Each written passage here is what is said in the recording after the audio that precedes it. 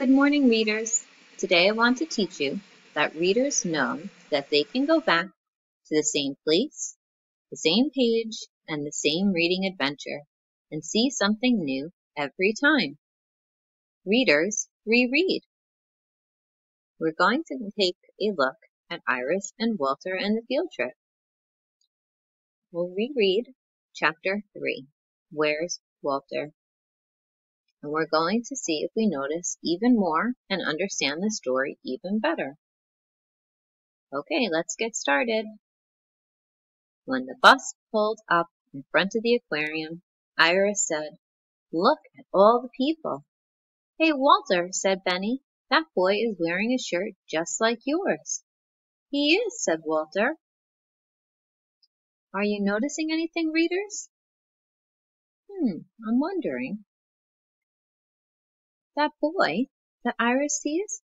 I think he's the boy Iris thought was Walter when she held his hand inside the aquarium. Let's keep reading and see if we notice more. Now, children, it's very crowded here, so keep your eyes on me, said Miss Cherry. The children walked down a dark hallway. Everywhere they looked, there were fish. Ooh, they whispered. Are you noticing anything on this page? Remember, take a look at the pictures and the words. I see this picture of the boy in the shirt. That's probably why Iris got confused. Let's keep reading. Sharks, said Benny. They look mean, said Iris. While the children were looking at the sharks, Miss Cherry and Jenny's mother counted everyone. Okay, follow me, said Miss Cherry. Readers, what are you noticing on this page? There's probably lots of things, so take a look. Take a look at the pictures and the words. I'll give you a minute. Some things you might be noticing. Miss Cherry is telling the kids to keep their eyes on the sharks. Hmm, I wonder why. You think it's because it's really crowded? She wants to count them?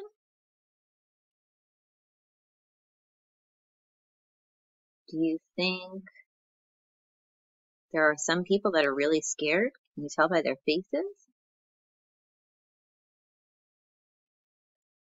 Why do you think she wants to count them? On the page before, we read that it's a really dark hallway. Maybe she wants to keep track of everyone to keep and make sure that everyone is safe. Maybe. Well, readers, we have only read a few pages and we have noticed so many details already. Can you imagine if you keep reading more pages and then the entire book again? Wow, you're going to notice so many details. So today when you go off, I want you to find a book that you have already read. So you have read it one time already.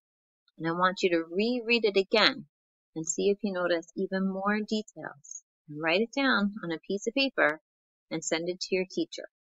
Okay? Remember, you are going to reread to notice more.